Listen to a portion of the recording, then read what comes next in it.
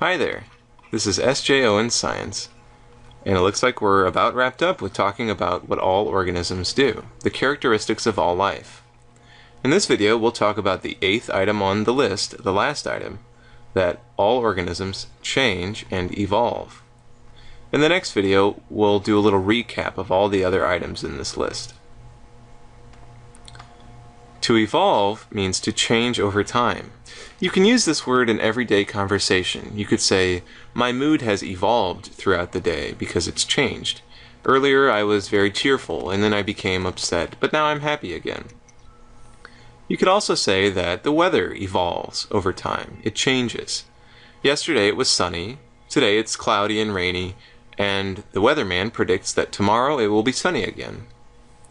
But biologists use the term evolve to mean that living things change over many, many, many generations or reproductive cycles. One generation is whenever a parent makes an offspring. If this happens many times, then living things can change because they accumulate mutations, as we talked a little bit about in the last video. Let's take a closer look at mutations. This block organism is ready to reproduce. When it does, it turns out that one of the offspring that it produces is identical to it. It is the same. It has no mutation. The other block organism, however, is a mutant.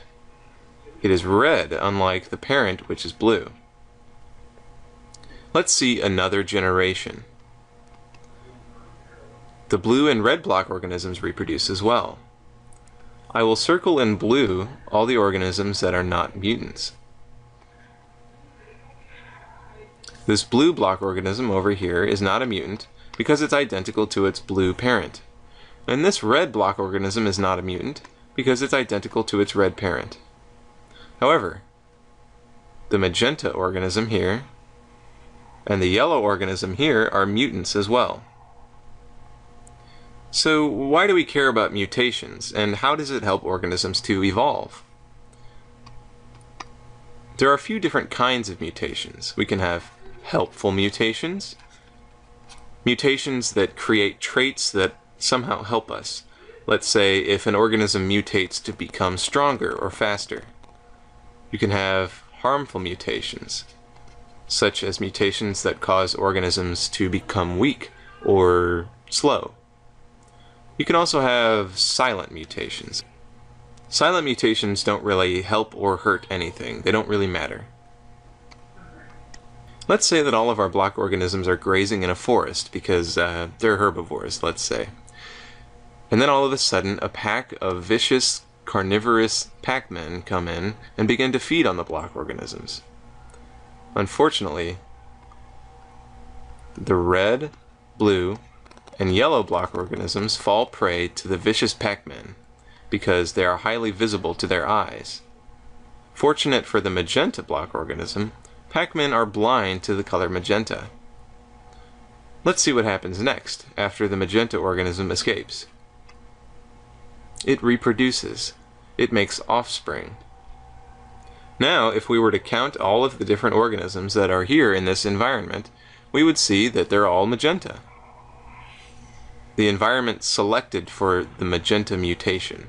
We call this natural selection, and it's a central concept in the study of biology. That the environment can weed out the organisms that are less able to survive and reproduce. And it's only one component of the whole idea of evolution, which is what we've been talking about here. All living things change and evolve due to the interactions of mutations, the environment, and natural selection. So that's all that I have to talk about for this list of things that all organisms do. This is S.J. Owens Science, and I hope that you take the time to check out the next video in which I recap on the different items that are in this list as well as some of the terms in our terms list. Thanks for watching.